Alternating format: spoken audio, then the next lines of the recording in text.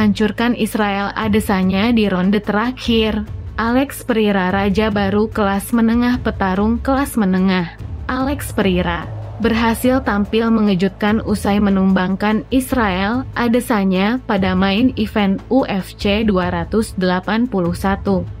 Alex Pereira menang TKO atas Israel Adesanya pada sajian utama UFC 281 yang digelar di Madison Square Garden, New York, Amerika Serikat, Minggu 13 November 2022 waktu Indonesia.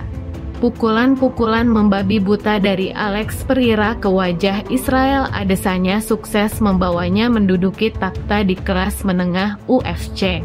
Hasil ini membuat Adesanya belum berhasil mengalahkan rival lamanya di ajang dua seni bela diri. Jalannya pertarungan Alex Pereira langsung melayangkan tendangan yang cukup mudah dihindari Israel Adesanya. Adesanya mencona membalas melalui tendangan-tendangan rendah.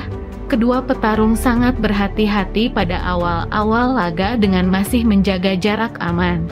Perira sempat hampir mengejutkan dengan tendangan ke kepala Adesanya yang mampu ditangkis. Adesanya dan Perira sama-sama unjuk kebolehan dalam permainan kickboxing dengan lebih banyak melancarkan serangan lewat tendangan. Hingga pukulan jab Adesanya sempat membuat mundur Perira. Adesanya terus menekan Perira dengan sesekali melayangkan sepakan dan pukulan. Adesanya lagi-lagi memanfaatkan jangkauan lengannya yang panjang untuk terhindar dari serangan Perira. Perira mampu mencuri kesempatan dengan memberikan tendangan ke badan Adesanya yang disusul dengan pukulan hingga ke pinggir oktagon. Namun satu pukulan jab lurus dari Adesanya yang disusul hook kiri berhasil membuat goyah Perira.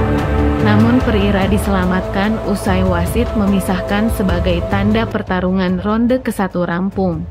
Berlanjut ke ronde kedua, Adesanya yang sangat gesit berhasil melakukan serangan-serangan yang efektif. Namun kelamaan posisi Adesanya juga dalam bahaya yang hanya main bertahan dengan sesekali melakukan serangan. Terpojok, Adesanya mencoba melakukan clinch untuk menjatuhkan Adesanya, tapi upayanya tak berhasil. Perira merespons dengan beberapa kali mendaratkan jab yang telak ke wajah Adesanya. Namun Izzy sangat cerdik untuk menghindar dan berlari-lari di sisi oktagon. Tendangan berhasil didaratkan ke Perira ke wajah Adesanya. Perira bahkan berhasil menjatuhkan Adesanya ke kanvas. Sayangnya pertarungan segera berakhir saat Perira menindih Adesanya dalam situasi ground and pound. Pada ronde ketiga, giliran Adesanya yang mendapatkan keuntungan setelah berhasil menjatuhkan Perira. Adesanya mencoba terus menekan Perira dengan memeluknya dari arah belakang. Perira masih bisa belum keluar dari tekanan Adesanya yang justru berhasil membalikan badan Perira dalam posisi ground and pound.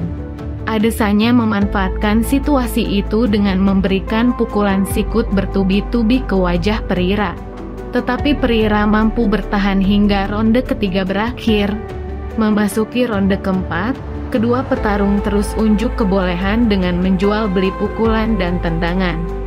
Adesanya dan Perira masih cukup segar untuk bertarung hingga ronde terakhir. Pada ronde pamungkas, Perira inisiatif memulai serangan lebih dulu dengan agresif.